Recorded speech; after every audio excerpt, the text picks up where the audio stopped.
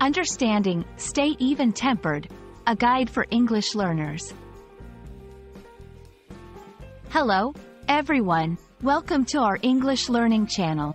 Today, we're diving into an interesting and useful phrase, stay even tempered. Understanding this phrase is not just about expanding your vocabulary, but also about grasping the cultural nuances that come with it.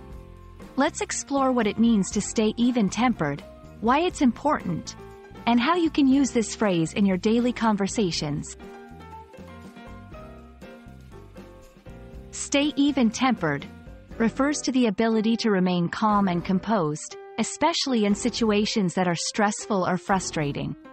Being even-tempered means you don't let your emotions get the best of you. You maintain a balanced and steady mood, regardless of the circumstances. This phrase highlights the value of emotional stability and the importance of not allowing external factors to disrupt your inner peace. Why is it important to stay even-tempered? First and foremost, it allows for better decision-making.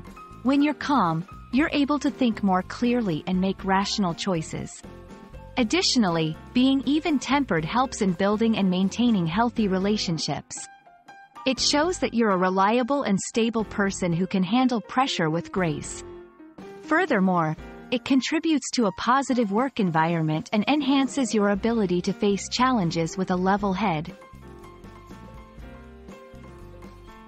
Staying even-tempered is easier said than done, but it's certainly achievable with practice.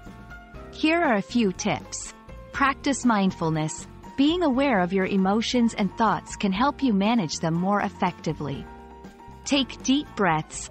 Simple breathing exercises can help calm your mind and reduce stress.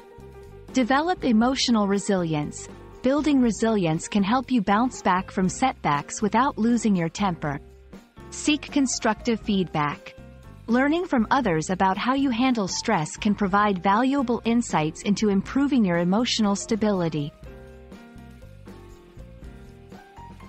We hope this video has shed light on what it means to stay even-tempered and why it's a valuable trait to cultivate.